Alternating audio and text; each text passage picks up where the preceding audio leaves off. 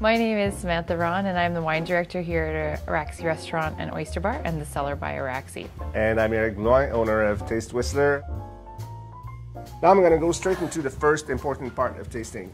You have to look at the wine. The reason why you look at the wine is that, well, first, you know, it's going to give you an idea if it's a, you know, lighter style, darker style, you know, just with the color. If you see through the wine, if you don't see through the wine, it's going to also tell you about uh, if the wine is faulty it's a little cloudy, if it looks weird, or even if there's a piece of cork in it, you know.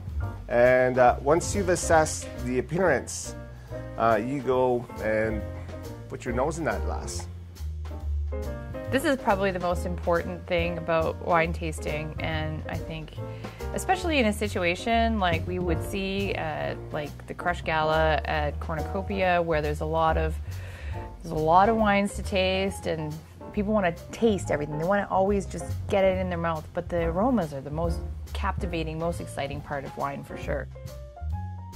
For me, when I'm tasting wine, sometimes I get so wrapped up in the aromas of the wine, I don't even get around to tasting it for some time. But I know Eric is probably anxious to take a sip, so we should try this, see what we think. So when you want to taste the wine, you want to keep a bit of wine in your mouth, right? Just want to, don't want to drink it. You're tasting, really you are. So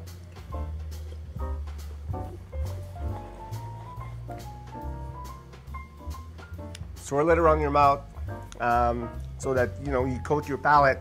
You know you, will feel uh, sweetness. You'll taste the sweetness, or, or you'll you'll feel acidity on your gum, and so different parts of your mouth will give you uh, will react differently to various characteristics of the wine really a lot of wines to taste at Cornucopia this year. Um, you really can't drink them all, or you are not going to survive. You are not going to make it. Give wine a chance. Spit. Give wine a chance.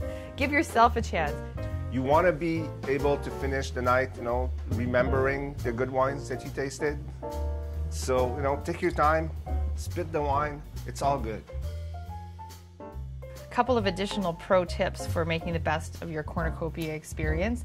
No heels, no perfume.